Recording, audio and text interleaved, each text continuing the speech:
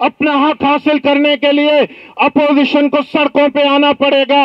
और इस मेयर को यहाँ से भगाना पड़ेगा। मेयर तो अपना होना चाहिए। मेयर तो अपना होना चाहिए। ये तो गैरों से भी बदतर है। मेयर तो अपना होना चाहिए। कराची की आवाम का दुश्मन मेयर नहीं होना चाहिए। बल्दिया उजमा कराची की कौंसिल ने आइंदा माली साल 2019 से 2020 का 26 अरब चवालीस करोड़ अट्ठावन लाख पच्चीस हज़ार रूपए का बजट कसरत राय से मंजूर कर लिया। जमात इस्लामी के अरकान ने मुखालफत की। बड़ी नफरत है आपको यार मेरे से। बड़ा हसद रखते हैं आप 700 स्कीमें डालते हैं, मेरी एक यूसी की स्कीम नहीं, आपको मैंने इतने लेटर लिखे, इतनी रिसीविंग है, ये सारे लेटर मेरे पास लिखे हुए हैं।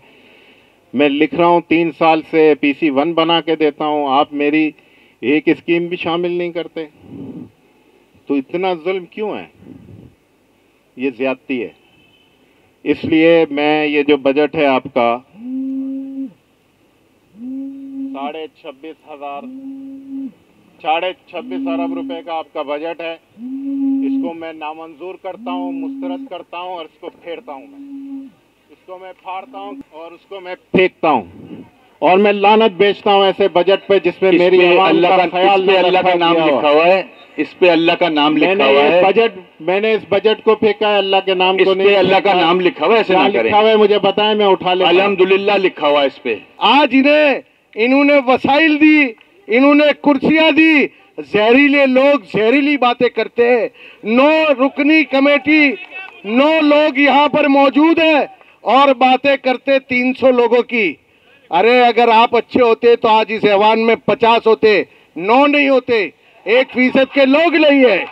आपके ऊपर हमेशा कराची के लोगों ने भरोसा किया, लेकिन तुमने कराची की पीठ पे छुड़िया फेरी है। हमेशा आपने ऐसा किया है। आपको कराची ने हमेशा मुंतखब किया, लेकिन आपने कराची को क्या दिया? जहर बांटा है। आपने यह असला बांटा है। या आपने नफरत पैदा की है? ऐवान ने रवा साल 2018 से 2019 के नजरसानी शुदा बजट 15 अरब 6 करोड़ इकसठ लाख बाईस हज़ार दो सौ सतासी रूपए की भी मंजूरी दी। साल रवा का पहले ये बजट 27 अरब 17 करोड़ छियावन हज़ार नौ सौ सैतीस रूपए था। के इलेक्ट्रिक की जानब ऐसी के एम सी हेड ऑफ़िस की बिजली मुनकदा किए जाने के बाद गुजशत रोज मुलतवी होने वाला इजलास जुम्मे को कौंसिल हॉल के बजाय सब्जाजार आरोप मुनद हुआ, जो शाम चार बजकर चालीस मिनट आरोप शुरू होकर सात बजकर चालीस चालीस मिनट तक जारी रहा। बिजली के इलेक्ट्रिक ने सही काटी है, मगर हमारे जो ड्यूज निकलते हैं सिंध गवर्नमेंट पे, सिंध गवर्नमेंट से कहूँगा कि हम ये कोई सियासी एजेंडे पे यहाँ नहीं बैठे हैं। मैं और हम लोग थोड़े अरसे बाद चले जाएँगे यहाँ से, दूसरे लोग इलेक्ट होके आएँगे। इस सिस्टम को ठीक करना है। ये ड्यूज नहीं होने चाहिए, ये सिस्टम सिंध गवर्नमेंट के मातहत काम करता है। मुझे हर महीने पाँच करोड़ तकरीबन, पाँच करोड़ ही अमाउंट है। बिजली का बिल देना होता है केएमसी को के इलेक्ट्रिक को। ये अमाउंट हम नहीं दे सक रहे। सुप्रीम कोर्ट के ऑर्डर्स मौजूद हैं। इंप्लीमेंट नहीं हो रहे सिंध फाइनेंस से। ये मैं आपको बताना चाह रहा हूँ फैक्ट्स कोई इसमें मेरी लगी लिपटी नहीं है, कोई खुदा ना खास्ता किसी को नीचे नहीं दिखाना है केएमसी मुश्किल में है। केएमसी दफातर की बिजली मुनकता किए जाने पर बाज अरकान कौंसिल ने तजवीज दी कि के इलेक्ट्रिक के दफातर पर मुजाहरे किए जाएँ और शहर को बंद कर दिया जाए। अरकान का कहना था कि के इलेक्ट्रिक ने हर शख्स के साथ जुल्म किया है। के इलेक्ट्रिक आपको पता है दंदनाती फिरती है जो दिल में आता करती है। चौदह अस्पताल चल रहे हैं केएमसी के गरीबों के लिए जैसे भी चल रहे हैं। मैं सेटिस्फाई खुद भी नहीं हूँ मगर चल रहे हैं।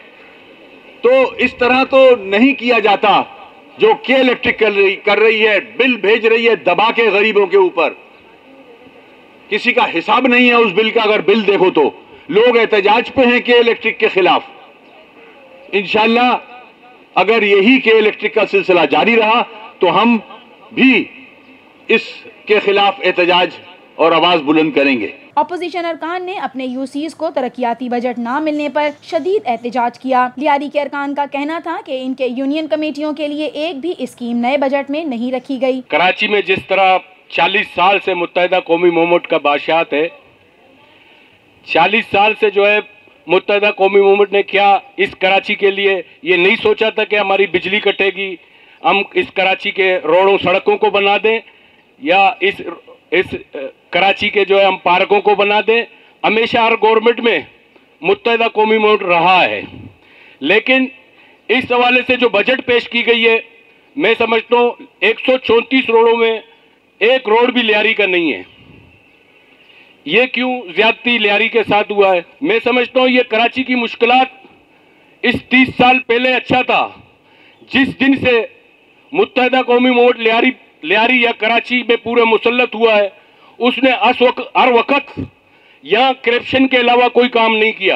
अपोजिशन लीडर करमुल्ला वकासी ने कहा कि ऐवान में तैतीस फ़ीसद अरकान का ताल्लुक अपोजिशन से है लेकिन गुजशत तीन साल में उन्हें एक भी स्कीम नहीं दी गई। बजट में सोलह अरब रुपए गैर तरक्याती मद में चल जाएँगे। आप कट कर रहे हैं कि अपोजिशन चैम्बर के अखबार नहीं पहुँचने चाहिए पैसा बच जाएगा।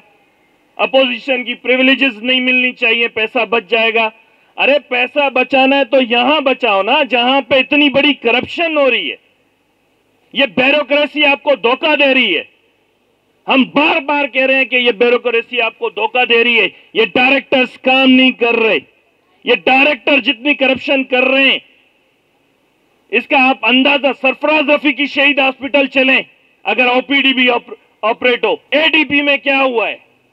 आप खोल के देखो, मैं आपको अभी भी यकीन दिलाता हूँ और साबित कर सकता हूँ। यहाँ पे सिस्टम में जो ठेकेदार बैठे हुए हैं, जो इस ऑन गोइंग स्कीमें सात सात साल से चल रही हैं, उनको बजट दिया रहा, काम होता नहीं है और वो स्कीमें जो है, बुकों में चढ़ रही हैं। अगर उसकी जगह, अगर किसी चेयरमैन की अगर एक छोटी सी स्कीम हो, एक करोड़ की भी आपने 25 लाख दिया 25 लाख में करप्शन हुई 6 लाख लेकिन 6 लाख में भी चेयरमैन ने काम कराया खड़े होकर अपनी इज़्ज़त बचाने की कोशिश की। जमात इस्लामी के लीडर जुनेद मकाती ने इजहार ख्याल करते हुए कहा कि कराची में हर साल जमा होने वाले 2000 अरब रुपए का टैक्स दो साल तक सिर्फ़ कराची पर खर्च किया जाए। उन्होंने कहा कि मेयर ने इनके यूसी के लिए एक भी स्कीम नहीं रखी। जिन्हें साढ़े तेईस हज़ार अरब रुपए देना चाहिए टैक्स वो कराची के टैक्स पे पूरा पाकिस्तान पले। बिजली हमारे पास नहीं, गैस हमारे पास नहीं, पानी हमारे पास नहीं, सड़कें हमारे पास नहीं, पार्क हमारे पास नहीं, खेलने के लिए प्लेग्राउंड नहीं तालीम नहीं, स्कूल नहीं, हॉस्पिटल्स नहीं, हमारे पास कुछ भी नहीं तो फिर हमें भी सोचना पड़ेगा। इस कराची की आवाम को भी सोचना पड़ेगा कि हम बहत्तर साल से टैक्स दे रहे हैं, बहत्तर साल से हम अपने खून पसीने की कमाई से पूरे मुल्क को चला रहे हैं। तो आखिर हमें बताया जाए कि बहत्तर साल से जो हम पैसे दे रहे हैं तो साढ़े बीस करोड़ आवाम क्या कर रहे हैं? आप ब्यूरोक्रेसी को तो आप पैसे देते हैं। तो ये 16 और 17 ग्रेड की मेरी बहनों ने क्या जुल्म किया है? मैं आपको कहता हूँ कि रिज़र्व सीट के जितने भी लोग हैं, बजट में उनके लिए आप ब्यूरोक्रेट्स के बराबर तनख्वाह रखें। सिंध गवर्नमेंट अगर आपको नहीं देगी तो मैं सिंध गवर्नमेंट के बाप से भी ये बात मंजूर करवा के दूँगा और इन बहनों के साथ जाके वज़ीर आला हाउस का घेराव करूँगा और उस वक्त तक नहीं उठूँगा जब तक के वज़ीर आला इनका एजाजिया मंजूर ना करे। शहर में के इलेक्ट्रिक की मनमानी नाकाबले बर्दाश्त हो गई है। ये सिलसिला जारी रहा तो ज़बरदस्त एहतजाज करेंगे। के इलेक्ट्रिक पर के एम सी के आठ अरब रुपए के वाजिबात हैं जबकि के एम सी पर के इलेक्ट्रिक के साढ़े चार अरब रुपए के वाजिबात का सिलसिला दो हज़ार दस ऐसी चल रहा है। मैं समझता हूँ की आज जो के इलेक्ट्रिक ने किया है वो के एम सी के साथ नहीं किया है बल्कि इस शहर के हर शख्स के साथ ज़्यादा की है। क्योंकि यहाँ के जो नुमाइंदे हैं, वो पूरे कराची को रिप्रेजेंट करते हैं, हर पार्टी को करते हैं। के इलेक्ट्रिक ने आज जो हटदर्मी दिखाई है कि कोर्ट के ऑर्डर्स होने के बावजूद भी उन्होंने इस कराची शहर की नुमाइंदगी करने वाली केएमसी को आज अमलन मफलूज करके रख दिया है। आपने इस पूरे के पूरे बजट में कोशिश की है कि किसी तरीके से तमाम चीज़ों को कवर किया जाए, मगर जब रिसोर्सेज ही नहीं हैं जब पैसा ही नहीं है तो अल्फाज को घुमा फिरा कर आज़ाद शुमार को घुमा फिरा कर क्या कर लेंगे? पैसा होगा तो लगेगा। इससे पहले पैसा आया और लगा, और ऐसा लगा कि जिन लोगों को शिकायत है कि हमारे इलाके में काम नहीं हुआ, उनके इलाकों में ज़मीन के अंदर से पानी पहुँचाया। वो हम ही लोग थे। इस बजट पे हम बड़ी उम्मीद लगा के बैठे थे कि शायद इस बजट में हमारी स्कीमें आ जाएँ। जैसे हमारे सारे साथी कह रहे हैं कि बजट बड़ा अच्छा बनाया है मगर आपने टेक्निकल तरीके से सिर्फ़ और सिर्फ़ अपने लोगों को oblige किया है। अपोजिशन की किसी यूसी में एक स्कीम नहीं है। सिंध हुकूमत और वफाकी हुकूमत से फिर मेरी दरख्वास्त कि वफाक का जो बजट है, वो सिंध हुकूमत को दे और वो पैसा कराची में लगाया जाए। इंशाल्लाह, हम जो बाकी टर्न रह गया है, जो बाकी टाइम रह गया है उसमें इंशाला अल्लाह ने चाहा, इस बजट की मंजूरी के बाद यूसी में भी काम होंगे, चेयरमैन भी सुरखरू होंगे अपने इलाकों में। आज मीडिया देख ले कि ये किस तरह दबाते हैं, किस तरह ये काम नहीं कराते कोई भी इनका अफसर आके बताए कि कभी उन्होंने विज़िट किया है। और पिछले तीन साल से जो भी आपने बजट दिया है, यूसी थर्टीन, बिटाइयाबाद में आपने एक भी काम नहीं रखा है। ये क्या? ये तसब परस्ती नहीं है नाइंसाफी नहीं है। मेरा भी आज दिल करता है कि आप आप फादर ऑफ़ है तो दिल चूमने को करता है, क्योंकि मुझे आपने काम नहीं दिया, मुझे आपने नजरअंदाज किया है। अफसोस की बात यह है कि उस बजट में वो स्कीमें भी रखी गई हैं, जो पिछले साल की है। ऐसा लगता है कि आने वाला फंड वो पिछली स्कीमें खा जाएँगी, और हम ऐसे जो नई स्कीमें आई हैं, हम फिर वैसे के वैसे रहेंगे, गदागर के गदागर ही रहेंगे। और ये बड़ा अलमिया होगा चर मेयर साहब, ये बहुत बड़ा अलमिया होगा कि वो चेयरमैन जो आस लगा के बैठे हैं और उनकी ये हसरतें पूरी ना हो और फिर सर महफल, वही कैसा ही उल्फत हो कि बड़ी बुरी बात होगी।